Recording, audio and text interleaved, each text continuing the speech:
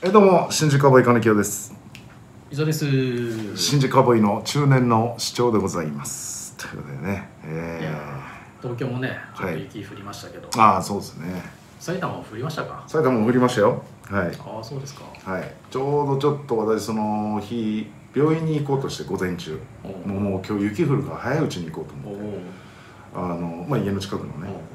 でもうそれでももうガンガン降っててさ。で伊沢さんって、うん。あの新潟いる時って傘差しました？雪の時って。傘しましたよ。あそうなんだ、う北海道なのかな？分かんないけどなんかね雪わー降ってる時って傘あんまり差すっていう感覚がなくて。んあれなんじゃない？雪が乾燥してさそう。そうそう寒いからサラサラしてる。サラサラしてるから。新潟結構べちょっとしてるから。うん確かにね。うん。そうそう。だからそれなのよ。その感覚でああ雪か。じゃあじゃあと思ってまあ長靴はちょっと履いたんだけど、うん。こうやって歩いてたら、うんまあ、周りみんな傘さしてて、あそっか傘さすんかと思って、うん。で病院に着いたら、うん。北海道の雪だったらもうそれこそパパ腹屋ね。パって腹屋はさわーってあるんだけどやっぱりちょっとべちゃっとしてるから全部がべっちゃべちゃになっちゃってさ、うん。ああ傘持ってくれやがったなと思って、そうそうそれであ新潟ってどうなんかなと思って、うん。ほらちょっと前に新潟行ったばっかりだったからさ、うん。新潟の人ってどういう感覚なんだろう雪降った時と思って場所によるんじゃない？場所によるのかね、海側だとさうん、多少気温高い。ああそっか。だからで山側だとうん。やっぱ気温も低いし、うんちょっとさらっとしてるからもしかしたらそっち側のそれこそユーザーの方とかはささないかもしれない。ああなるほどね。あそうそう。それでいろいろ用足してたから病院行ってその後薬局行ってでその後もう一個ちょっと行ったからあ行くたんびに溶けるわけよびっちょびちょになべっってちゃべちゃどんどんべっちゃべちゃになってさ店も店の人からしても嫌だろうな。いやそうそうそうずそう。もぶ濡れの人来てるじゃ うべっちゃべちゃもんなんでう天気予報見てねえのかよあいつって思われてるそうそうそう。で漏れなくみんな傘さしてるしうんいやそうだよね。やっぱ傘さすべきだよなと思って。言ってけばいいんじゃないの？あ北海道出身なんだよ。いやいやそんなこと言った北海道はあの傘ささないんだよ。別にあっちも気にして見てないから。あの人傘さしてないなとは思ってないでしょ別に。いや思ってるよ。いや思ってるだろうけどそれ。なんで刺さないんだろうと思って。こんな降ってんの。にまあね。分かりやすく。そうそうちょっとそうそうそうそうサラサラしてんだよね。だからそれもあるんだけどね。それをちょっと勘違いしてたなと思って。うんはちょっと失敗したなと思って。うんあはべっちゃべちゃべっちゃべちてなんか濡れる濡れるなみたいな気持ちはない。いやだからいやほろえばいいやっていう感覚になるから。のそうそうそうそうそれがあそうか雪えじゃあ奥さんもそうなの？いやいや傘さしてたと思うよ。あのゆ雪質がそっか違うよなと思って。結構なんかそれはあれなんじゃだって奥さんだって北海道出身なわけじゃん、うん。でも同じ理論ならああまあね。傘ささない一家の可能性もあるじゃん、まああるね。まあまたでも場所もちょっと違うしね。あの旭川のが寒いかも。寒い方な寒いかもしれない。どうなんだろうな、うん、その辺は北海道は別にどこも全部寒いんじゃない？まあまあでも札幌と旭川は気温違ったりするし。ああそう。じゃあ札幌の人は傘さしてる可能性もあるってこと？あるかもしれないもしかしたら。まあまあ暖かくなってきたからね。温暖化であれだからだいぶ昔は違うかもしれない。本当にねじゃああ旭川の人は金井京さんが住んでた頃は誰でも傘さしてなかった。あんまり差してる人いなかったね傘は。本当に。あんまり？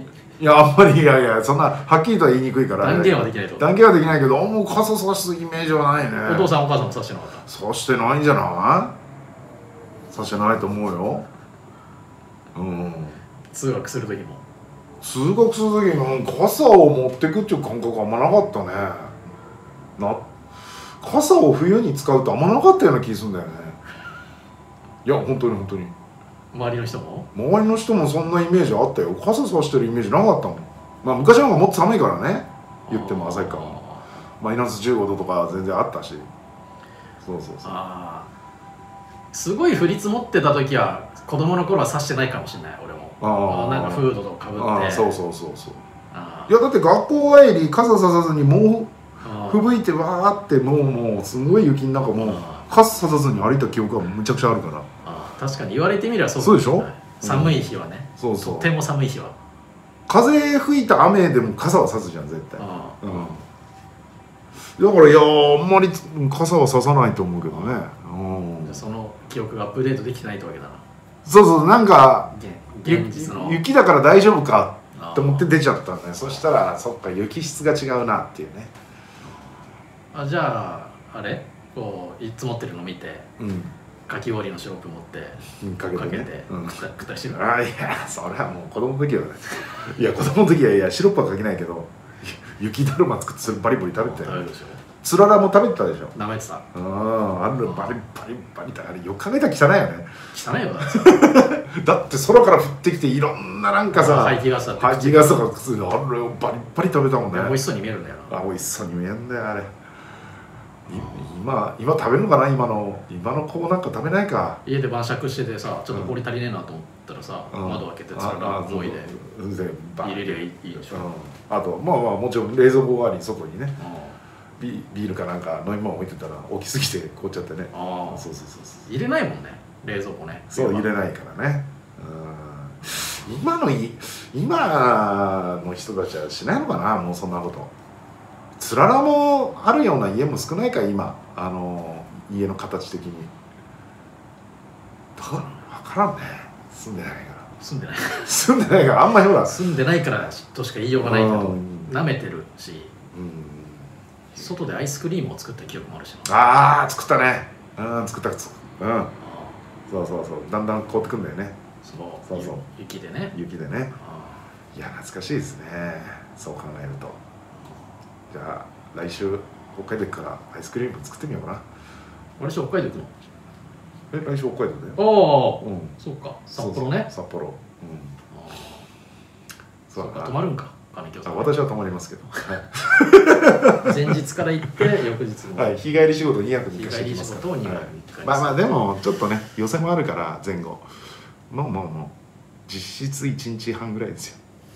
滞在的には。だってよちょっとよ夜に着いて千歳着いて次の日はもう午前中の飛行機で帰ってきます。あつお2日後はね。ね。ええ。だからもうほぼほぼ。なるほそうですねわかりました。いやつららでも食べてみようかな。札幌のいいよつらとホホテルの近辺にないんじゃない？都会でしょだって言ってもそうね。ホテルがあるようなとこ。ろうん、ちょっと住宅街行かないとあれかもわかんないけどまあ札幌のつららと旭川のつららも違う。違うかもね味が。うん味が違うかもしれないし。比べてみたらいいんじゃない？うん。金京観光で。つらら舐めてみた。